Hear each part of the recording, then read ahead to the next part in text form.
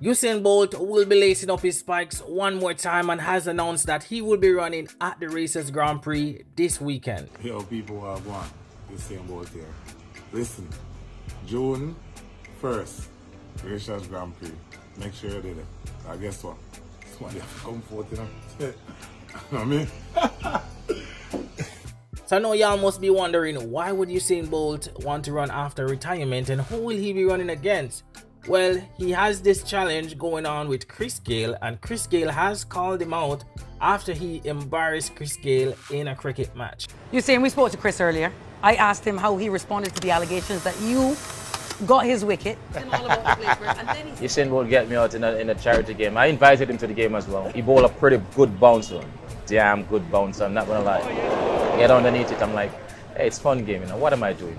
you know, so I'm start smashing, hitting first, probably one or two sixes and a few fours, and then eventually I get an inside edge onto the stump.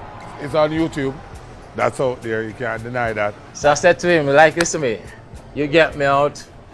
I want a race on the track. Chris Gayle, as we know, is not much of a runner because he's a big man. He's more of power. He hits the ball very hard but he's determined to embarrass Chris um, Usain Bolt the same way Usain Bolt embarrassed him in a cricket match. And he definitely um, posed the challenge to Usain Bolt to compete with him in a race and to see who would be the winner.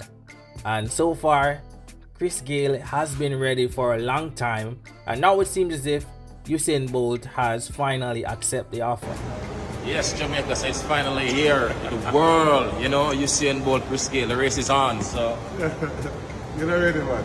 Can't shy away now. The race is on. Who come forth? Well, I don't know who come forth, you know. You know what I mean? so yes, viewers, Chris Gayle is determined that he can beat Usain Bolt on the track. Um, I'm pretty sure it's not going to be a full 100 meters. Probably it's a 40 meter sprint or something like that.